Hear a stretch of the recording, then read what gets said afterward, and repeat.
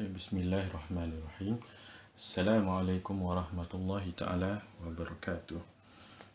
Okay, for the next uh, topic, which is uh, experiment of function.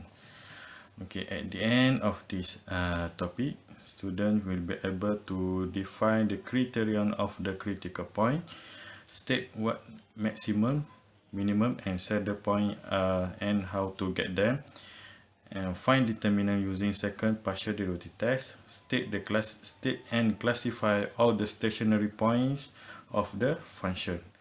And lastly solve any problems related to experiment of function and its application. Okay. So uh, we go through the experiment of function the critical point criterion?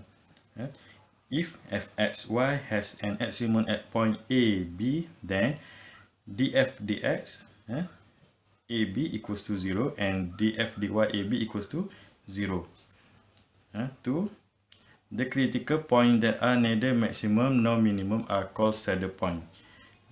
B stationary value eh, f prime x equals to 0 f prime y equals to 0 maximum values fsx uh, less than 0 and fyy less than 0.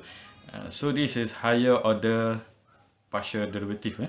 Higher order partial derivative. So second derivative. fsx is second derivative. Differentiate dua kali. Okay. Min for the minimum value, fsx greater than 0 and fyy greater than 0. Okay. For the second uh, partial derivative test, let d equals to fxx ab times fyy ab minus fxy ab square. Okay, a if d greater than 0 and fxx greater than 0, f minimum at a b at point a b. If d uh, greater than 0 and fxx a b less than 0, f maximum. Okay, uh, so dua ni sama. Okay, d positif, d positif uh, yang ni fxx positif uh, minimum. Fxx negatif maximum. Okay if d less than 0 set the point. If d equals to 0 no conclusion can be made. Okay oh tak nampak eh. Uh, if d equals to 0 no conclusion can be made. Uh, not minimum maximum or set the point. Uh, kita tak boleh buat conclusion. Okay so for this topic uh, eh, from the uh, question eh, from the question we must find the critical point eh, whether maximum minimum or saddle point. Okay we look at example 1 okay find all the critical point of the function eh, fxy this is a function 6x square minus 2x cube plus 3 3y square plus 6xy and the class and classify each point as relative maximum, relative minimum or saddle point. Okay, and this is a equation of fxy. So first of all, uh, differentiate fx, differentiate fy. Uh, this is a first method. Okay, uh, differentiate uh, fx equals to 0 and differentiate fy equals to 0 differentiate this equation equal to 0 first equation. And differentiate f with respect to y second equation. So first equation two equation. Okay? And we have two equation. And then we solve simultaneously simultaneously. Okay? Kita selesaikan dia secara simultaneous. Persamaan serentak. Okay? And then fsx and that's mean differentiate fx with respect to x again eh? fyy fyy differentiate fy with respect to y again eh? so we get 6 fxy is mean from fx differentiate fx with respect to y uh, so uh, differentiate uh, fx uh, this equation with respect to y so 0 0 6 6 eh?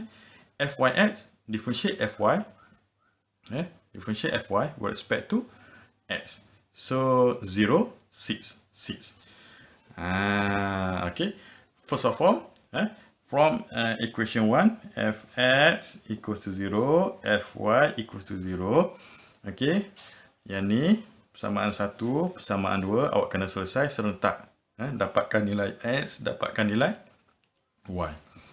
Okey, tengok yang mana senang. Eh, sama ada equation 2 or equation 1. So, for this uh, equations, eh, uh, equation 2, eh, senang. Eh? 6y plus 6x equal to 0. So, x equals to, uh, from 2. Okay, uh, you can see that, from 2, x equals to negative y. Okay, uh, so substitute from 2 and then substitute into 1. Uh, if you uh, write from 1, substitute into equation 2. Okay, uh, faham eh?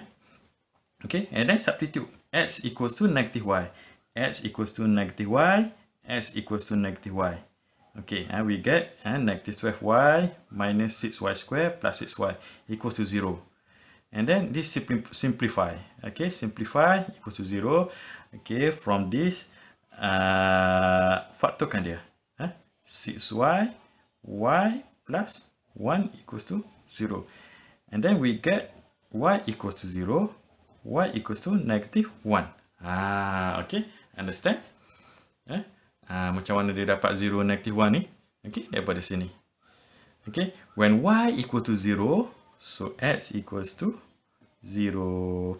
When y equals to negative 1, y, uh, x equals to 1. Okay, from this equation. Okay, uh, from this equation. X equals to negative y. Okay, so the critical points are 0, 0. Okay, and you see that? 0, 0 and 1 negative 1. Okay. Uh, 1 negative 1. 0, 0 and 1 negative 1 is a critical points. Okay. Uh, critical point. This is critical value. Okay. This is critical value. Critical value. Okay. From critical value, substitute into equation, we get critical point. Ah, okay. Uh, so the critical point are 0, 0 and 1, negative 1. So from this uh, critical point, uh, state whether maximum, minimum or saddle point. So macam mana cara dia? Okay, kita buat table. Okay, table ni, yang, yang ni critical points, FSX, FYY, FXY square, D. Conclusion. D is a FSX times FYY minus FXY square. Okay. Ah, okay, daripada sini. Okay, daripada sini. fxx, fyy, fxy. Okay, you state that. Huh? 0, 0. For point, critical point 0, 0. Okay, fxx, substitute 0 huh? into x, substitute 0 into y. Okay, uh, so kat sini 12 minus 12x. x equals to 0, so 12. fyy. fyy is 6. So 6. fxy, fxy 6. So 6 square, 36.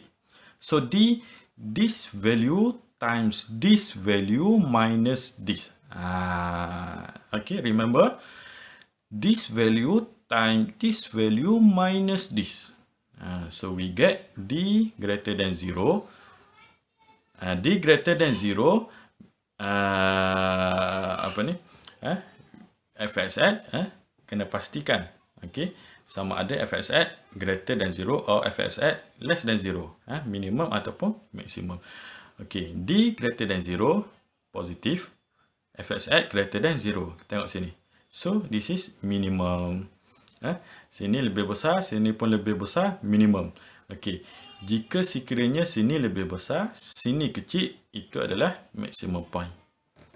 Ok so uh, point 1 negative 1 ok substitute here. 0 substitute 6 substitute 36 so this equation this value times this value minus this value. So we get negative value. D. D is a negative. And d is a negative. D greater than d less than 0 is saddle point okay uh, so uh, yang ni awak kena ingat okay uh, so yang ni uh, so awak kena ingat. Okay. Ha, this is formula. Okay. For the next example. Example 2.